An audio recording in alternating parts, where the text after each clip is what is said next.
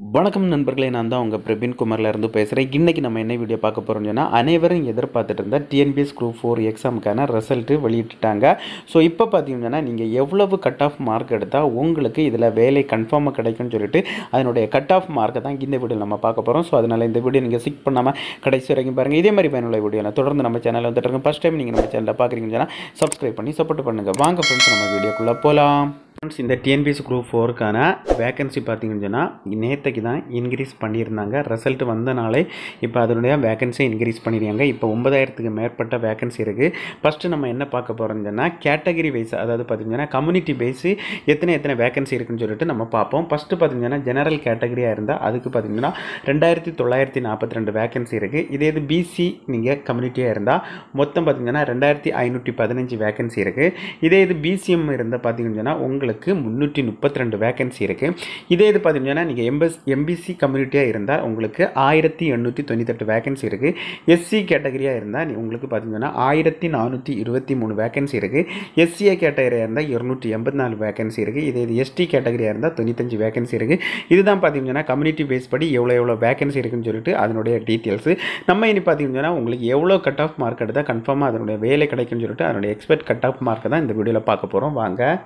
Friends எவ்வளவு cut off mark எடுத்தால் உங்களுக்கு நூறு சதவீதம் வேலை வாய்ப்பு கிடைக்கும்னு சொல்லிட்டு நம்ம கம்யூனிட்டி பேஸ் படியும் அதுக்கப்புறம் நீங்கள் எந்த கேட்டகரிக்கு ஜாப் அப்ளை பண்ணீங்களோ அந்த கட் கேட்டகரி வைஸும் படி பார்த்தீங்கன்னா இதில் கட் ஆஃப் மார்க் நம்ம பார்க்க போகிறோம் ஸோ ஃபஸ்ட்டு பார்த்தீங்கன்னு சொன்னால் நீங்கள் ஜூனியர் அசிஸ்டண்ட் பிஓஏக்கு நீங்கள் அப்ளை பண்ணியிருந்தால் நீங்கள் கம்யூனிட்டி ஜிடியாக இருந்தால் உங்களுக்கு குறைந்தது பார்த்தீங்கன்னு சொன்னால் நூற்றி எழுபத்தி மூணு ப்ளஸ் கட் ஆஃப் மார்க் எடுத்தால் மட்டும்தான் உங்களுக்கு பார்த்தீங்கன்னு சொன்னால் இந்த ஜாப் கிடைக்கும். ஸோ அதே இது பார்த்தீங்கன்னு சொன்னால் நீங்கள் பிசி கேட்டகரியாக இருந்தால் நீங்கள் நூற்றி எழுபத்தி ரெண்டு ப்ளஸ் தான் எடுக்கணும்.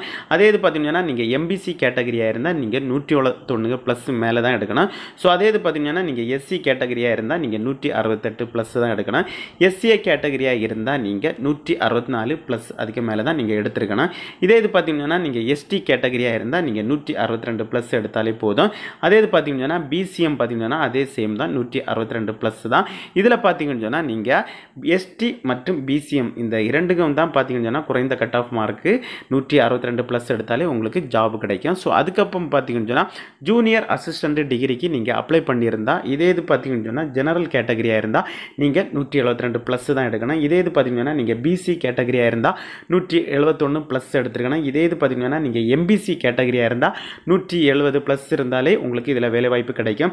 இதே இது பார்த்தீங்கன்னு சொன்னால் நீங்கள் எஸ்சி கேட்டகரியாக இருந்தால் நீங்கள் நூற்றி அறுபத்தி ஏழு ப்ளஸ் தான் இருக்கணும் உங்களுடைய கட் ஆஃப் மார்க்கு அதே இது பார்த்தீங்கன்னு சொன்னால் நீங்கள் எஸ்சிஏ கேட்டகரியாக இருந்தால் உங்களுக்கு பார்த்தீங்கன்னா நூற்றி அறுபத்தி மூணு இருக்கணும். இதே இது பார்த்தீங்கன்னா நீங்கள் எஸ்டி கேட்டகரியாக இருந்தால் நீங்கள் நூற்றி அறுபது ப்ளஸ் தான் இருக்கணும் கட் ஆஃப் அப்படி இருந்தால் மட்டும்தான் வேலைவாய்ப்பு கிடைக்கும். பிசிஎம் பார்த்தீங்கன்னு சொன்னால் நூற்றி அறுபத்தி ஒன்று எடுத்துருக்கணும். இதில் மெயினாக பார்த்தீங்கன்னு சொன்னால் உங்களுக்கு எஸ்டி கேட்டகரியில் இருக்கவங்களுக்கு பார்த்தீங்கன்னு சொன்னால் ரொம்ப கம்மியாக தான் கொடுத்துருக்காங்க. நூற்றி அறுபத்தி ரெண்டு ப்ளஸ் நூற்றி அறுபது. இந்த நூற்றி அறுபது ஜூனியர் அசிஸ்டண்ட்டுக்கு நீங்கள் கட் ஆஃப் இருந்தாலே உங்களுக்கு அதிகமான வேலை வாய்ப்பு கிடைக்க வாய்ப்பு இருக்குது அதே இது பார்த்தீங்கன்னா ஃபாரஸ்ட் வாட்சர் இதுக்கு நீங்கள் அப்ளை பண்ணியிருந்தால் நீங்கள் ஜெனரல் கேட்டகரியாக இருந்தால் நீங்கள் நூற்றி அறுபத்தெட்டு ப்ளஸ் எடுத்தாலே உங்களுக்கு வேலை வாய்ப்பு கிடைக்கும். இதே இது பார்த்தீங்கன்னா நீங்கள் பிசி கேட்டகரியாக இருந்தால் நூற்றி அறுபத்தி ஏழு ப்ளஸ்ஸு அதே இது பார்த்தீங்கன்னா நீங்கள் எம்பிசி கேட்டகரியாக இருந்தால் நூற்றி அறுபத்தாறு ப்ளஸ் மேலே தான் இருக்கணும் கட் ஆஃப் மார்க்கு இதே இது பார்த்தீங்கன்னா நீங்கள் எஸ்சி கேட்டகரியாக இருந்தால் நூற்றி அறுபத்தி மூணு ப்ளஸ் இருக்கணும். இதே இது பார்த்தீங்கன்னா எஸ்சிஏ கேட்டகரியாக இருந்தால் உங்களுக்கு நூற்றி ஐம்பத்தி ஒன்பது எஸ்டி கேட்டகரியாக இருந்தால் நூற்றி ஐம்பத்தி எட்டு பிசிஎம் கேட்டகரியாக இருந்தால் நூற்றி ஐம்பத்தெட்டு ப்ளஸ் இதுக்கு மேலே இருந்தால் தான் உங்களுக்கு இதற்கான வேலை வாய்ப்பு கிடைக்கும். நீங்கள் டைப்பிஸ்ட் ஜாபுக்கு நீங்கள் அப்ளை பண்ணியிருந்தால் ஜெனரல் கேட்டகரியாக இருந்தால் நீங்கள் நூற்றி அறுபத்தி நாலு எடுத்துரு எடுக்கணும் நூற்றி அறுபத்தி நாலு ப்ளஸ் தான் எடுக்கணும்.